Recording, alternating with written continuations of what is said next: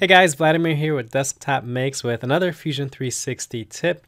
Today we're going to talk about sketch constraints. You know, those pesky little white symbols that can either be your best friend or your worst enemy, especially if you're a beginner, they can really tend to trip you up.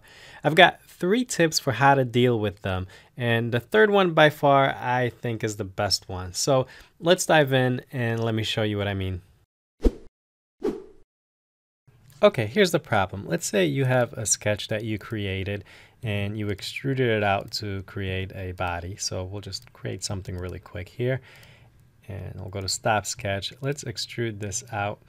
And now let's say you come back and you want to create a sketch on this surface. So you go to sketch, create sketch, and you get rid of the bodies and you just want to start sketching. So you hit C for circle and then you create a circle here and you go ahead and try to move it and you realize it's acting really weird. Why, why is it acting funny? Well, it's constrained to that previous circle that was there.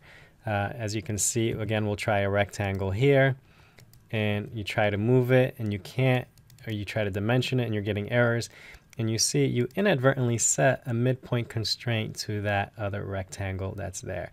So what Fusion 360 does, even though it doesn't show the edges until you hover around it, it actually projects every sketch entity from a body if you create a sketch on that specific body.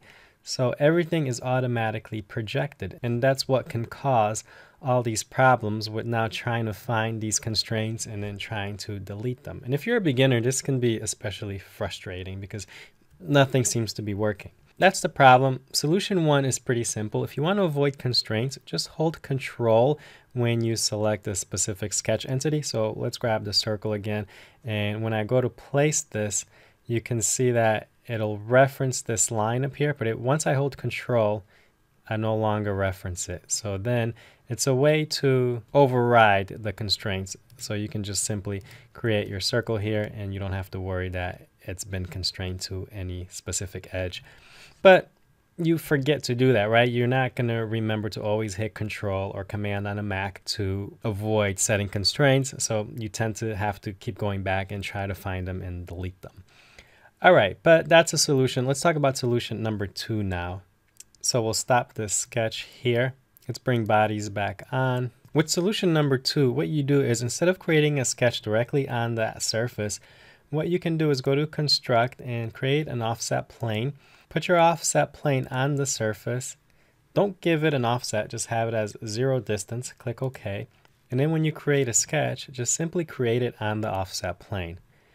Now, if we go ahead and just turn off the previous sketches and turn off the bodies, there's nothing to reference. So now we can go and create a sketch and not worry about it referencing any edge. Okay, but that's still an added step. So here's why I think solution three is the best solution.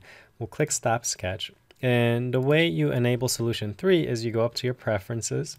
You go to your name up here in the right hand corner, grab preferences, and you're gonna go here on the left column, go to your design tab and uncheck where it says auto project geometry on active sketch plane. Click apply and then okay and that'll prevent Fusion from automatically projecting when you create a sketch on a surface.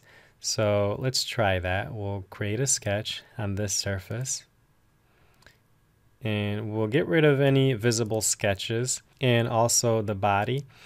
And now we can see that it doesn't automatically project those edges. So there's nothing here to inadvertently constrain to.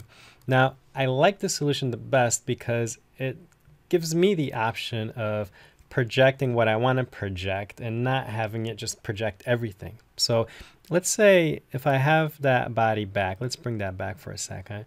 And let's say I do want to project this edge, for example. Well, I can just hit P on my keyboard for project and then select just that edge, click OK. And now I can just take away that body. And if I want to put a circle, let's say on the midpoint of that line, I can go ahead and do that. This gives you the control. It allows you to choose what edges you want projected.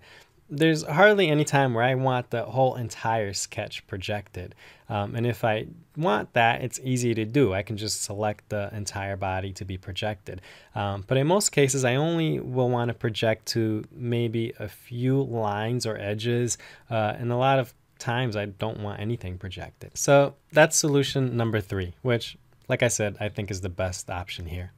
All right, let me know if you guys found this useful. Were you already aware of all three solutions or maybe just one or two of them? If you have any specific question that would make a good subject for one of these quick tips, just leave it on the comments below and I'll see if I can get to it. If you liked the video, give it a thumbs up. And if you haven't subscribed yet, make sure to do so as I do these tips once a week. And as always, you can find more content on my website at desktopmakes.com. I'll see you next week.